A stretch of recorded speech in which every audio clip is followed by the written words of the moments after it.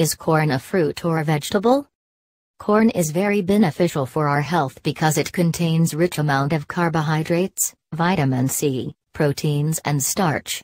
It must be a part of our diet to live a healthy lifestyle. Apart from these health benefits people still inquire about its being a fruit or a vegetable. Here in this article we'll discuss in detail all the interpretations of corn that whether that is corn a fruit or vegetable. So, let's get started. The history of corn tells us that corn was grown for the first time in America. Afterwards it became popular in other parts of the world. It is grown as a major crop in various parts of the world and it is exported to countries where there is no corn found. In some regions is called as maize. Here I would like to tell us the three major types of corn. 1.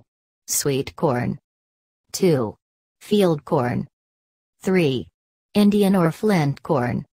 The sweet corn is easily available at any grocery store while the field corn is basically used in feeding the cattle and livestock. When we talk about the Indian corn then it is famous because of its fresh colors.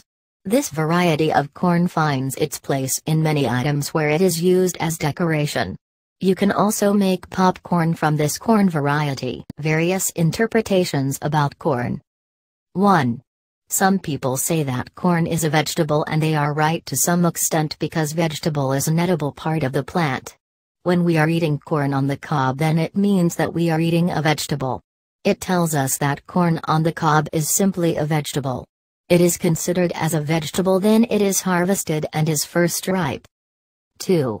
When we talk about the individual kernels of a corn then corn is a whole grain. According to this perspective, the individual kernels of corn are considered as whole grains. Here I would like to clarify the definition of a whole grain which states that a whole grain is a dry seed of a grass plant which is hard and small in size. The internal part of the corn kernel known as the endosperm is used to make corn starch. When you are talking about the cornstarch specifically then here you are using kernels of corn as whole grains. 3. Here is another interesting interpretation about corn kernels. When the seeds of the corn kernels are popped into popcorn then it becomes a fruit to remind you the definition of fruit which states that fruit is that edible part of the plant which contains the seed or matured ovary of flowers. Those who consider it as a fruit give this explanation that basically corn grows from a plant's reproductive part that is why it is right to call it a fruit. However there are also some people who say that corn is never considered as a fruit.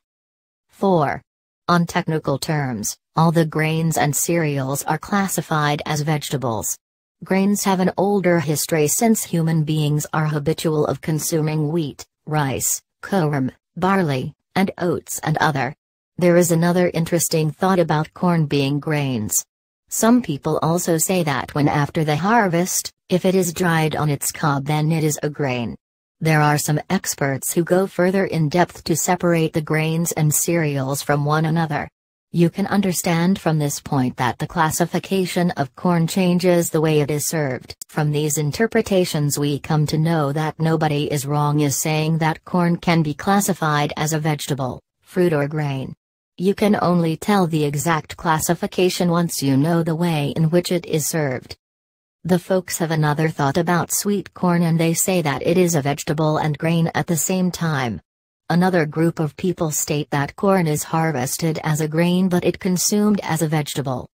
It is seen that children are not interested in eating corn and that is the case then it means that they are missing out its health benefits. You should serve a small portion of boiled corn along with the baby food to make him a healthy. Once the habit of eating corn is not developed then your child will not eat it when he will get older. Thanks for watching.